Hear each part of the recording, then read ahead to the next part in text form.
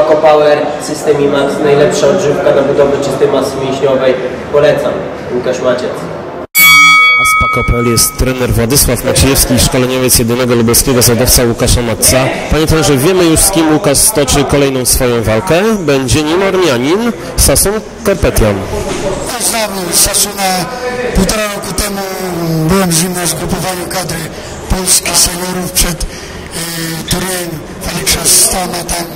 No, znam tego chłopaka, jest to solidny chłopak, taki pracowity, dość, dość, y, tak, no, można powiedzieć, solidny chłopak i, i, i myślę, że teraz na zawodowstwie takie same cechy przejawia.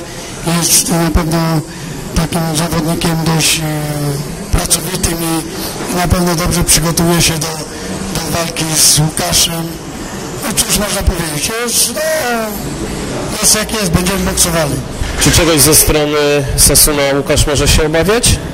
No tak jak każdego boksera trzeba się obawiać, żeby, żeby nie przyjąć, żeby więcej zadać, mniej przyjąć i na tym polega cały, cały boks.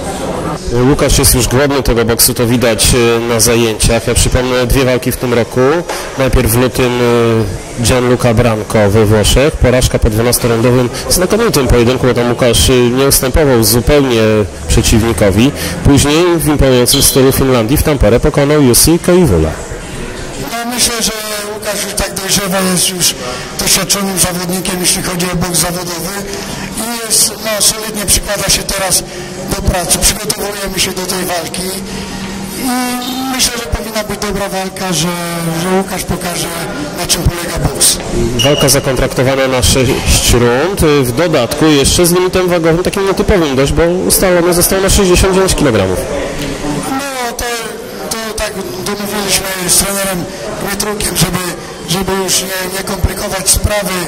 Łukasz y, wiadomo, że mniej waży od Sasuna, ale tam niewiele i, i ustaliliśmy limit 69 kg 6 rund, no bo tam Sasun nie boksował do tej pory tyle, e, takiej ilości rund, żeby to zadowoliło Łukasza. No, chcieliśmy na 8, ale ustaliliśmy na 6, jest dobrze, poboksujemy.